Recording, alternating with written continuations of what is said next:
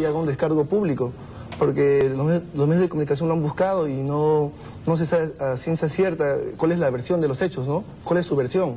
Tenemos una, una versión que es la versión de la familia agraviada. Sin embargo, eh, nosotros exigimos desde acá un debido, una, debida investigación. ¿La policía podría buscarlo en Huancayo en este momento y realizarle la prueba de absorción atómica para que este ciudadano no eluda su responsabilidad? Tenemos entendido que el congresista se encuentra en Huancavelica. En Huancavelica, la tierra así es, de la cual es representante. Sin embargo, eh, pues de acá también exhortamos a los miembros del, Congreso, la Comisión de Ética, presidida por la señorita, la señora Elizabeth León, que por favor este, se investigue a fondo para que se pueda sancionar. No es posible que un representante, eh, un parlamentario, un representante de los peruanos cometa estos actos de crueldad contra los animales. Imagínense qué, se puede esperar de, este tipo de congresistas. Es inaudito, en verdad. Dime, el, congresista había cometido un delito, ya que hay, existe la ley de protección a los animales domésticos. Efectivamente, existe la ley 27265, ley de protección a los animales. Eh, en el Código Penal 450-A, eh, dice lo siguiente, el que cometa actos de crueldad contra un animal, lo somete a trabajos manifiestamente excesivos o lo maltratada, será sancionado hasta con 60 días multa. Sin embargo, esto quiere decir pues que nadie va a la cárcel por, matar a un animal, así sea de una forma más aberrante. ¿no? Eh, después dice, el animal, si el animal muriera de consecuencia de maltratos, será sancionado con 120 a 360 días multa. En conclusión, nadie va preso por matar a un animal, así fuera a patadas, si fuera a balazos. ¿no? Eh, sin embargo, existe un proyecto de ley 496 presentado por el congresista José Urquizo. Este proyecto de ley eh, justamente eh, modifica esta parte, ¿no? yo les puedo leer, él agrega lo siguiente, en el primer caso, en caso de maltrato de los animales, él agrega en, este proyecto de ley que esta persona será inhabilitada por de cumplir cargos públicos por un año. Ah, y si lo maltratara, perdón, si lo matara, eh, será los mismos días multas más la inhabilitación para cumplir cargos públicos por dos años. ¿No? Entonces, este, si este proyecto se hubiera aprobado de repente, eh, pues este congresista no hubiera participado de repente eh, directamente, pues, políticamente, digamos, ¿no? Precisamente estamos viendo las fotografías del, del perro, se trata de un schnauzer, es una raza en todo caso juguetona, que no, no estamos hablando ni de una raza peligrosa. de una raza pacífica. Pacífica, que en todo caso, si molestó o no al congresista, nada justifica... A los patos del congresista. A los patos del congresista, no justifica que él reaccione. Si él reacciona así con un animal... ¿Qué ¿Cómo podría reaccionar con un, con, un ser humano? bueno, Carlos Bruce ha dicho eso, precisamente el congresista Bruce señala de que el señor Miró Ruiz se convierte en un peligro incluso para la integridad física de los propios congresistas. Un individuo que necesita a lo mejor pues un tratamiento psiquiátrico o algo. Posiblemente, ¿no? Él dice que eh, este perrito que es de raza pacífica, como ustedes lo comentan, eh, muy juguetón y amigable, ¿no? Eh, es muy conocido este tipo, este, tipo, este tipo de raza. Él dice, o según la versión que se conoce, que el perro se metió a sus predios, ¿no? a su casa, y que agredió o mató a un pato así haya matado 40 patos, así lo haya mordido él en la pierna, él no tiene, o sea, no son los medios, no son los mecanismos para hacer justicia. No la reacción. Dime, así es. ¿él eh, contaba con licencia para portar armas?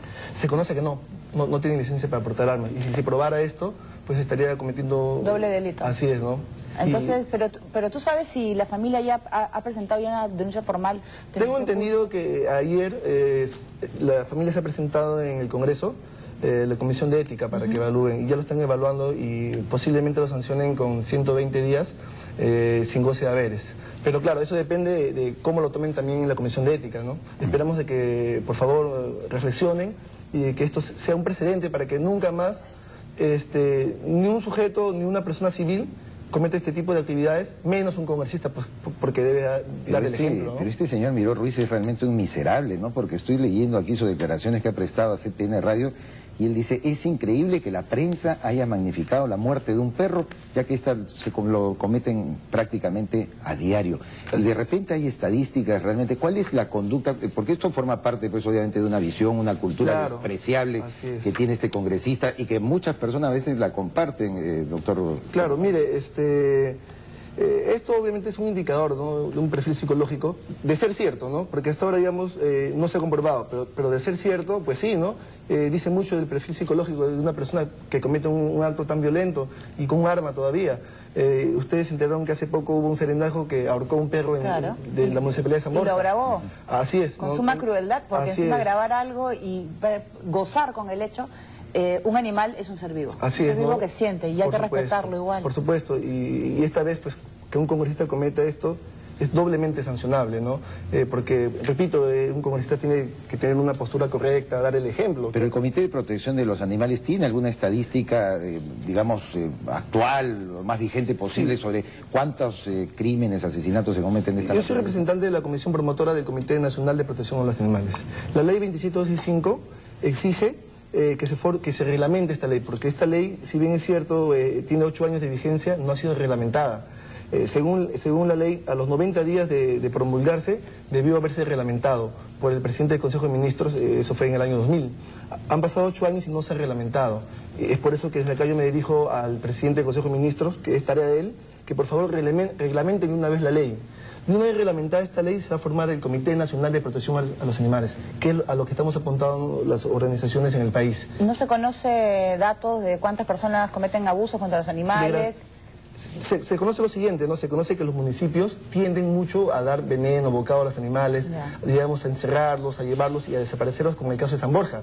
Digamos, el caso de San Borja, eh, ¿no?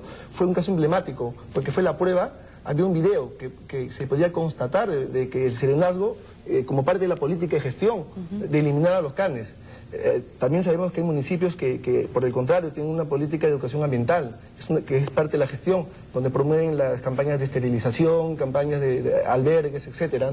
Entonces, eso es a, lo que se apuesta, ¿no? una a una política de gestión ambiental. ¿Qué decir de las corridas de las corridas de toro que están tan involucrados, ¿no? ¿Cierto? La cultura nuestra, porque no solamente hablemos de lo que pasa en Hacho cada mes de octubre, sino a nivel nacional. Yo, me, pregunto, ¿no? ¿Cómo podemos a veces este, condenar actos de, de crueldad como los últimos cuando el mismo Estado está permitiendo a veces o algunas autoridades que se festeje, no se celebre la muerte de un animal. Eh, nosotros creemos de que, eh, si bien cierto es una tradición, eh, no todas las tradiciones son buenas y hay que mantener las tradiciones que estén acordes con nuestros tiempos. En Portugal creo que no matan al ah, animal. claro, este, hay, lugares donde solamente se llama el capeo, incluso en partes de la sierra en Perú, ¿no?